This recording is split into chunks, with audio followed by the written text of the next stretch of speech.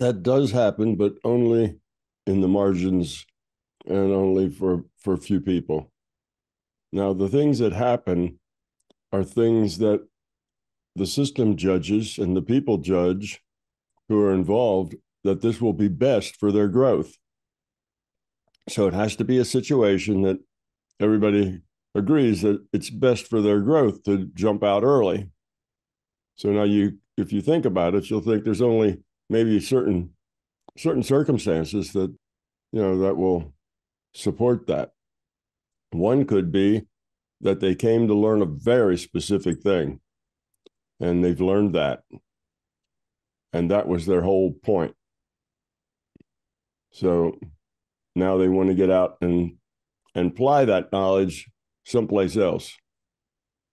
It could be that they had an arrangement to incarnate with another person, but that person was still physical and they weren't. So rather than just sit out and wait, they'd go in, but for a short run.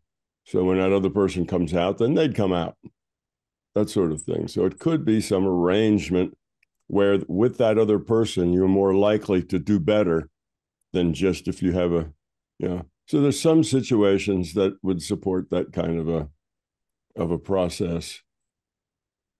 Maybe I could think of a couple of more, but only special cases. So it's not like 10% of the people come out, you know, in the first 20 years. It's not like that at all. It has to be some reason why that is a good choice. I'm Tom Campbell. I'm glad you're here.